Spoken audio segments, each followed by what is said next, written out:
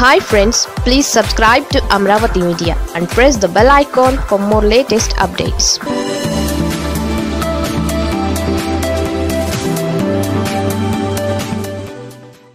ఈరోజు మనందరికీ favourite street food panipuri and dahipuri ఎలా చేయాలో చూపిస్తాను. ముందుగా నేను దహీపూరి ఎలా చేయాలో చూపిస్తాను.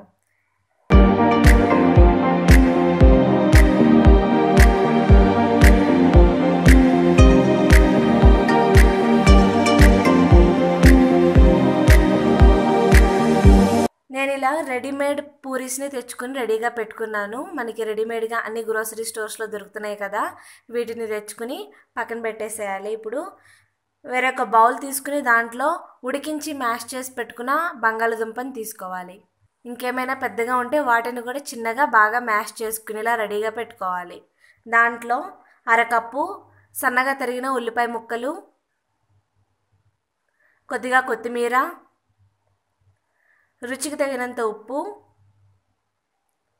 అర టేబుల్ స్పూన్ మిరియాల పొడి అర టేబుల్ స్పూన్ గరం మసాలా అర టేబుల్ స్పూన్ ధనియాల పొడి అర టేబుల్ స్పూన్ చాట్ మసాలా అర టేబుల్ స్పూన్ పసుపు వేసుకుని మొత్తం కలిసేలాగా ఒకసారి బాగా కలుపుకోవాలి. ఇది బాగా కలిపిన తర్వాత సగం బద్ద నిమ్మకాయ రసం వేయాలి. ఇలా నిమ్మరసం వేసాక మళ్ళీ ఒకసారి బాగా కలపాలి. పూరీలోకి స్టఫ్ చేసుకుని ఆలు రెడీ అయిపోయింది కదా. ఇప్పుడు ఈ పూరీలు తీసుకుని మధ్యలో నీట్గా హోల్ చేయాలి. హోల్ చేసిన తర్వాత ఈ ఆలూని స్టఫ్ చేయాలి.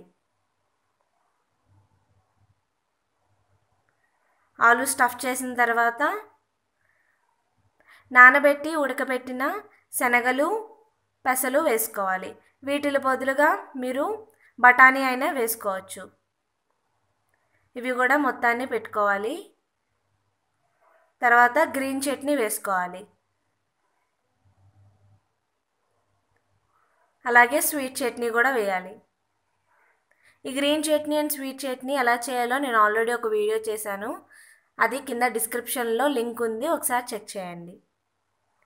అలాగే పెరుగు కూడా వేయాలి. ఈ దహీపూరిలో పెరుగు ఎప్పుడు మనం ఇంట్లో చేసుకునేది కన్నా బయట ప్యాకెట్స్లో అయితే చాలా టేస్టీగా ఉంటుంది. ఇలా పెరుగు వేసిన తర్వాత చివరిగా సేవ్ వేసుకోవచ్చు. పైన కొంచెం డెకరేషన్ కోసం అలాగే ఉల్లిపాయలు కొత్తిమీర కొంచెం శనగలు కానీ లేకపోతే బఠానీ కానీ వేసుకోవచ్చు పైన గార్నిష్ కోసం. అంతేనండి ఎంతో టేస్టీగా ఉండే స్ట్రీట్ ఫుడ్ దహీ పూరి ఎలా చేయాలో చూపించాను కదా. మీరు కూడా ట్రై చేయండి. ఇప్పుడైతే పానీపూరి కూడా ఎలా చేయాలో చూపిస్తాను. ఆల్రెడీ మనం ఆలు స్టఫింగ్ ఎలా చేయాలో చూసాం కదా?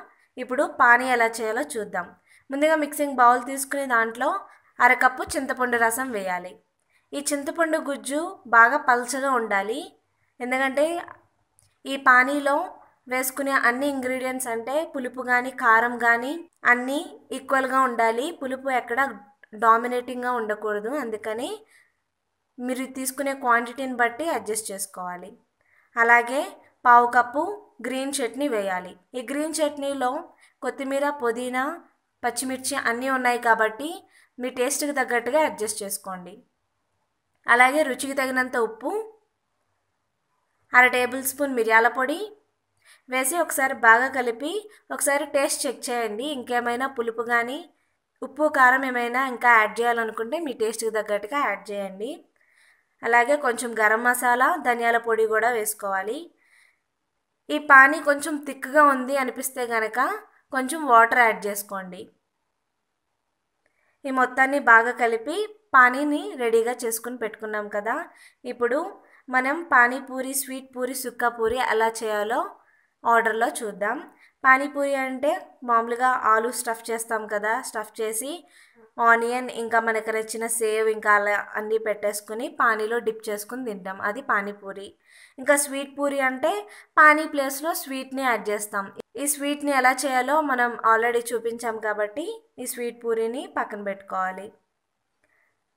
అలాగే ఇంకా సుక్క పూరి అంటే ఈ సుక్క పూరి ఓన్లీ డ్రైగా ఉంటుంది. అంటే ఆలు ఇంకొంచెం స్పైసీగా ఉండటం కోసం కొంచెం ఉప్పు కారం నిమ్మరసం ఉల్లిపాయలు అన్నీ యాడ్ చేస్తాము. కానీ పానీని కానీ స్వీట్ని కానీ ఏమి యాడ్ చేయము. ఇలా డ్రైగా తినేస్తాం అది సుక్కాపూరి ఇలా మనకు నచ్చిన విధంగా మనం ఇంట్లోనే ఈజీగా చేసుకుని రెడీ చేసుకోవచ్చు.